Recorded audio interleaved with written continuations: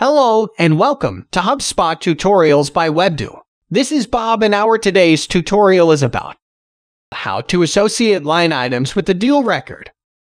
After you create products, you can associate them to your deal records to help track what you're selling and how much revenue you're earning from your deals. Let's see how you can do this. In your HubSpot account, navigate to Sales and then select Deals. Click the name of your deal record. In the right panel, in the Line Items section, click Add. You can create a new line item that is unique to the individual deal and these will not be added to your product library. To create a new line item specifically for this deal, click Create Custom Line Item.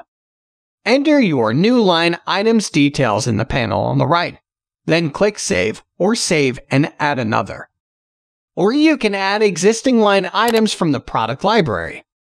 To add existing line items, click Select from the product library.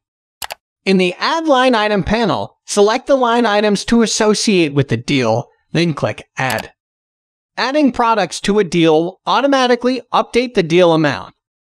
In the dialog box, review the new deal total amount, then click Update Deal Amount. You'll be brought back to the Line Items editor. In the top left, click Back to Deal to navigate back to the deal record and you are done. This is how you can associate line items with a deal record in HubSpot. Thanks for watching. Feel free to ask any questions in the comment section, and we will be happy to answer. If you like the video, give us a thumbs up and press the bell icon to subscribe to our channel. To know about our HubSpot services, visit us on www.webdew.com.